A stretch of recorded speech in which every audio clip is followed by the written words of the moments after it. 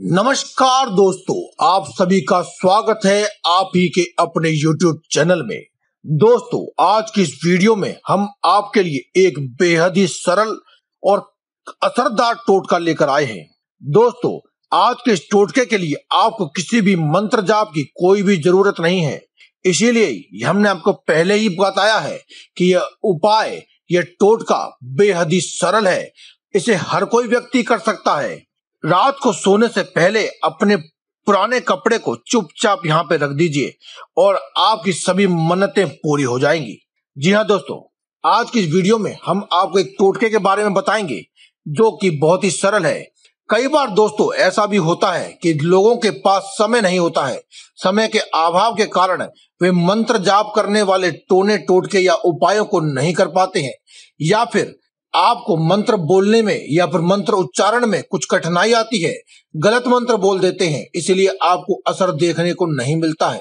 दोस्तों, हमारे धार्मिक धर्म ग्रंथों और शास्त्रों में स्पष्ट रूप से बताया गया है कि आप जो पूजा, अर्चना, उपाय, मंत्र जाप करते हैं, अगर आप उतनी श्रद्धा से टोने टोटकों को करते हैं तो आपको वे उतना ही लाभ देते हैं, जितना कि आप मंत्रों द्वारा अपने कार्यों को सिद्ध करवाते हैं। बस आपको अटूट विश्वास और श्रद्धा के साथ ये उपाय करने हैं। आपको चमत्कार अपनी आँखों से देखने को मिलेगा। आप एक बार कमेंट बॉक्स में जय बजरंग बली अवश्य लिख दीजिए, ताकि आपकी श्रद्धा और विश्वास और भी ज़्यादा अटूट हो सके। दोस्तों, जिन वस्त्रों को आप धारण करते हैं, उनके अंदर आपकी एनर्जी यानी कि ऊर्जा समावित होती है।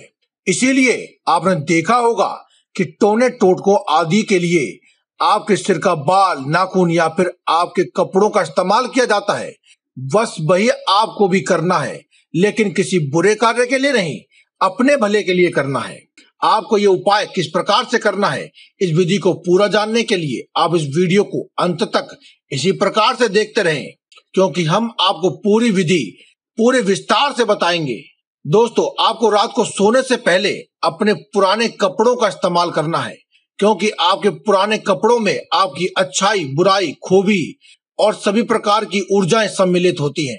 इसके लिए आपको अपने हर रोज इस्तेमाल होने वाले किसी भी एक कपड़े को आपको अपने पास ले लेना है। अगर कपड़ा बड़ा है तो आप इसकी कुछ तय कर लें मतलब इसकी घड़ी कर लें। और अगर कपड़ा छोटा है, जैसे कि रूमाल तो आप इसको सादा ही रहने दें और अपने दोनों हाथों के ऊपर इसे रख करके आप इसे अपने चेहरे पर लगाएँ। और आप ये समझ लीजिए कि यह जो कपड़ा है, यही आपकी सभी मन्नतों को पूरा करने वाला है, सभी जरूरतों को पूरा करने वाला है और आपको गहरी गहरी साँसें लेनी है और छोड़नी है। आप जब ये उपाय कर रहे होंगे, तभी आपको आपके अंदर से एक सकारात्मक ऊर्जा का प्रभाव महसूस होगा। आपको महसूस होने लगेगा कि कुछ तो बेहतर होने लगा है। उसके बाद आपको सात चुटकी कुमकुम इस कपड़े में डाल देनी है। सात बार लंबी लंबी साँसें लेने और छोड़ देने के बाद आपको सात चुटकी कुमकुम इस कपड़े में रखनी है और कपड़े की एक तय और लगाकर इसे अपने सिरहाने पर रख करके सो जाना है। सुबह जब आप उठें तो इस कपड़े को छुए बिना अपने नित्य कर्मों से निर्वित हो जाएँ। निर्वित हो जाने के बाद आप इस कपड़े के ऊपर सवा किलो साबुत चावल रखेंगे। साबुत से मतलब है कि खंडित नहीं होने चाहिए टूटे फूटे चावल नहीं होने चाहिए। साबुत चावल आप इसके ऊपर सवा किलो रखेंगे।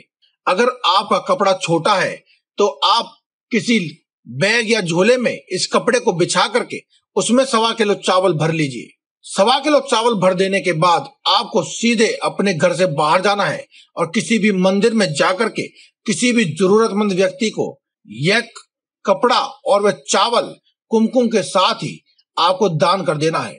दोस्तों, जब आप इस कपड़े को चेहरे पर लगा करके सात बार साँसें अंदर और बाहर कर रहे होंगे, तभी आपको मन ही मन अपनी सभी मनोकामनाएँ, जो भी आप अपने मन में कर रहे हैं, अपनी मन्नत जो आप पूरी करवाना चाहते हैं, वह आपको मन में सोचते रहना है।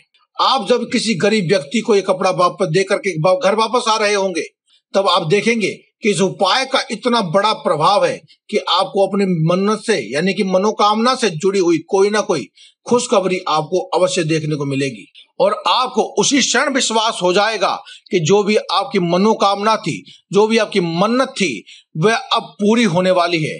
तो दोस्तों, आज की इस वीडियो में केवल इतना ही। कल फिर आपसे मुलाकात होगी। एक और नई वीडियो के साथ तब तक के लिए दे में इजाज़त, धन्यवाद। कमेंट बॉक्स में लिखना ना भूलें। जय बजरंग बली। और वीडियो को शेयर भी करें और लाइक भी करें। तो दोस्तों, आज की वीडियो में केवल इतना ही। कल फिर आपसे मुलाकात होगी। एक और नई वीडियो के साथ तब तक के लिए दे में इजाज़त, धन्यवाद। कमेंट बॉक्स में लिखें, जय बजरंग बली, जय माता दी।